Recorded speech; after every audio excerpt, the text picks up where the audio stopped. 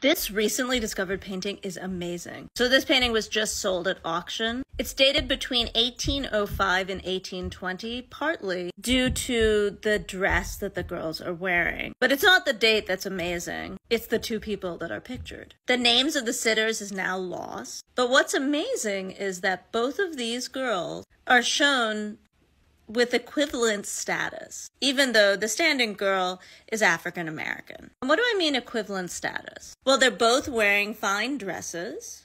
They're both wearing this beautiful coral jewelry that has gold pieces in it. They're both rendered with equal detail, and they seem like they are familiar to each other with a casual hand over the shoulder.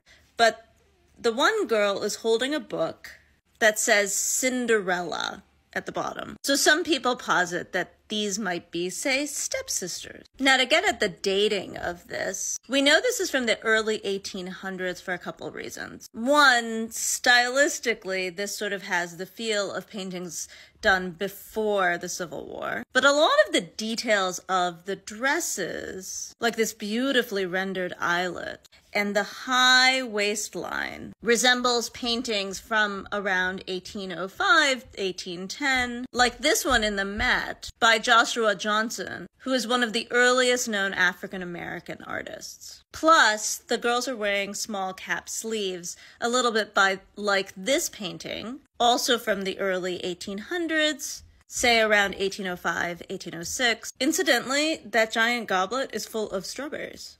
Weird. So we have no idea who these girls are, but it is important to note that there were free black people in what became the United States starting in the 1600s.